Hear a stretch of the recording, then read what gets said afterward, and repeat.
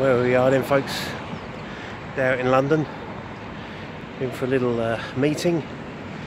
And now here I am strolling up to the Victory Services Club for a bit of lunch.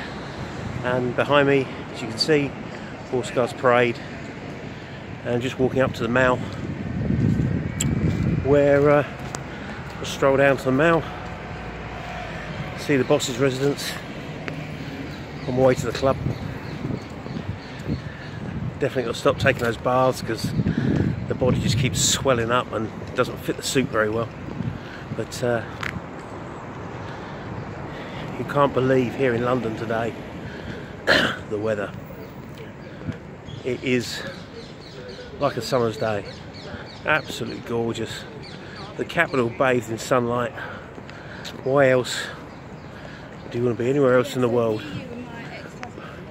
British can be best. So um, as I pass by everyone else on their telephones, and I'm strolling up here to the glory that is the Mall. So many people lunchtime, obviously, out and about, tourists. The noise of the London traffic, fat bloke in shot. And uh, here we go. Majesty in the marvel that is the Mall. The Mall in London.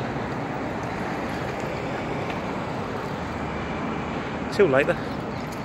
Ta-ta.